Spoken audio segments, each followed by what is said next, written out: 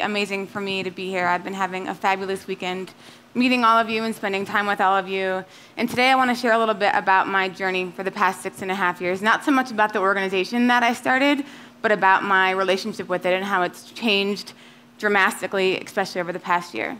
So, as Yarrow mentioned, six and a half years ago, I started Back on My Feet, which is an organization that has given me more purpose and meaning and clarity in my life than I ever, ever could have dreamed of or asked for. And when I was 26 years old, I was living in Philadelphia, and I had spent the past two years really looking for meaning, looking for something to make my life make sense. One thing was for certain, and that was I was a runner. Running made me feel so strong, and I had a very special relationship with that sport because I became a runner when I was 16 years old to deal with a lot of the garbage that was happening at my home when I was a kid. My dad was my hero, my best friend, my biggest fan. He would literally drive four hours to watch me play a game of basketball, and it was so not worth it. He was always rooting for me, and he was like, you know, the guy who hung the moon. And when I was 16 years old, I discovered my dad was a gambling addict, and it completely destroyed my perception of him. Uh, my mom kicked him out of the house. And unfortunately, I spent the next three years resenting my mom, having a really tough relationship with her, and also trying to fix my dad. So the next 10 years in my life, running was really important to me. It, again, gave me strength, gave me identity. It was my best friend and it was my enemy, but it was like something I had to do every single day. And fast forward back to 26 years old in Philly, and in May of 2007, I'm running by this homeless shelter that is literally a half a mile away from my apartment. I had walked by this homeless shelter hundreds of times before, and I never gave a shit about any of these guys that I saw. I, I walked on the other side of the street with my headphones in. And in May, these guys started to wave at me, and I started to wave back. And pretty soon, we had this really fun, quick witted rapport happening for 10 seconds each morning as I would run by them. And soon I realized I was cheating them. Why do I get to be the runner and they have to be the guys who are homeless on the corner? Why can't we all be runners? So I decided to start a running club. And I called up the director of the shelter and told him I'd like to start a running club for people living in it. And he tries to think of the nicest way to tell me that homeless people don't run. and I fortunately convinced him to at least ask the people living there, and he did. And nine guys said yes. I go up to the shelter at the end of June with shoes and clothes for these guys, and the most important thing I did was made them sign a piece of paper. It was called the dedication contract. And this piece of paper said, if you want to join our running club, which was all it was ever supposed to be, you've got to show up three days a week at 6 a.m. You've got to be on time, and you've got to support and respect your teammates. I didn't look at these group of guys and say, you know, I know you guys are homeless. So you're probably not going to make it three days a week, but if you can make it one or two, that would be great. And you're definitely not going to be on time, right? Like you're homeless. But if you can try not to be too late, I would appreciate that. Here I looked at these guys with absolute perfection. I, I saw perfection in them and thought that they were capable of that. And it's almost if they looked at me and were waiting for someone to look at them with such purity. And we all ran our first mile on July 3rd of 2007. And some of us walked it, some of us crawled it, some of us ran it, but we got our mile in. And pretty soon people started to hear about the organization and it starts to, or the running club, and it starts to grow, and we got 20 people running each morning. And over the next couple weeks, I realized something really special that this was not just a running club, that this was a catalyst to change people's lives. And there were two observations that made that obvious for me. One was that these guys were showing up, and they were showing up every single day, and that they were on time. You know, I learned through my dad the hard way that you can't force anybody to do something because you want them to, especially a grown man. And the second one was the reaction I would get when tracking their miles on this big poster board with the, their names on the left and the numbers at the top. These guys would hover behind my shoulders and watch me give them credit for the work that they did with a huge smile on their face, and that's when I knew how much in common I had with these guys. Everybody in this room wants the same thing that, that I do. We all want to be noticed, appreciated, valued, cared for, loved for, cheered for, and rooted for. And that's exactly what these guys wanted, and they were getting that out of this community. So this question starts to form that what if we can actually change the direction of their life by changing the way they see themselves? If we can change how they see themselves into somebody who's a runner, a teammate, a friend, reliable, responsible, a goal setter, an athlete, instead of somebody who's homeless, which has a horrible stigma to it, somebody who's undeserving or not capable? are they going to be able to have a happier and a better life? Well, this vision is all that I can think about. On top of this idea to grow this and build it into something to help beyond these nine guys, what about all the other shelters in Philadelphia and all the other shelters in the whole wide world? My personal life is starting to make sense. You know, nothing good came from my dad's addiction. It was tears and heartache and resentment and frustration and hatred, and nothing good came from it. And it was only now that all of those struggles, it was, if it wasn't for my dad and his, and his life and his hardship, I would never have given a damn about those guys.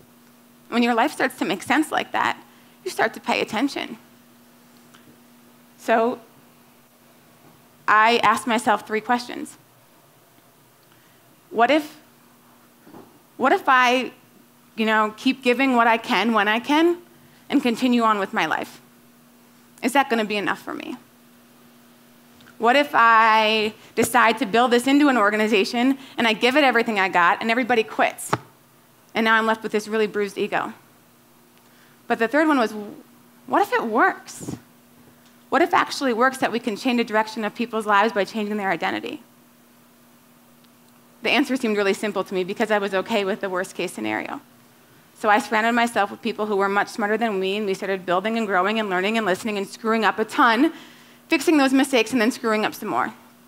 And as Yarrow said today, it's a $6.5 million organization with 48 staff that's helped thousands of people, and I'm really proud of that. But a year and a half ago, I started to ask myself another question. I started to feel like I was having another one of these moments where uh, this wasn't enough for me anymore. And I thought, that can't be right. I found my purpose. I found my mission. I'm helping people every day. I get to work and help people. Something weird's going on. I just need to actually keep building and creating and doing more for Back on My Feet, and then this feeling will go away. So that's what I did. I started building more, launching new cities, making more projects within the organization, and the feeling didn't go away.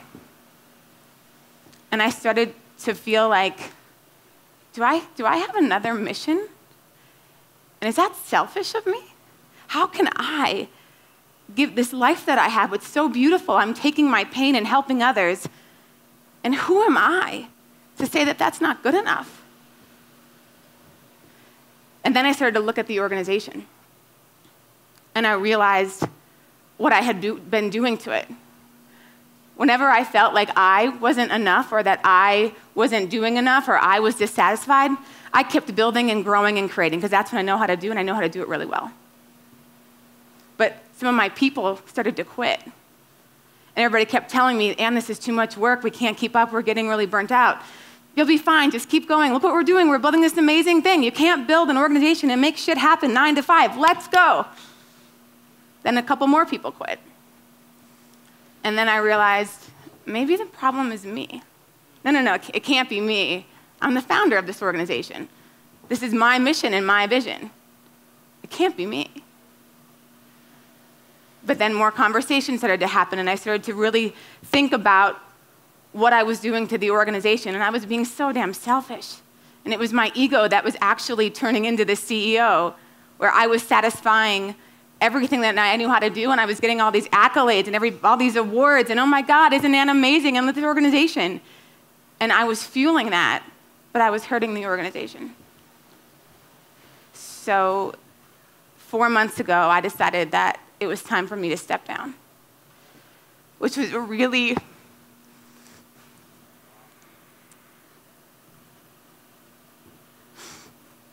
actually haven't cried about this yet.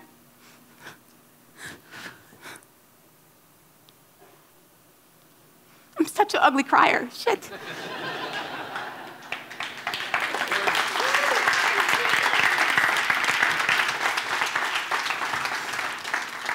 But I, um, I called my board chair and I said, you know, it's, it's time for, for me to move on. All this succession planning that we've been doing that I thought was just bullshit, and I thought that's just what organizations do, you know, it, it has to become real because I'm not helping anything. What the organization actually needed was sustainability and stability. And I have no idea how to do that.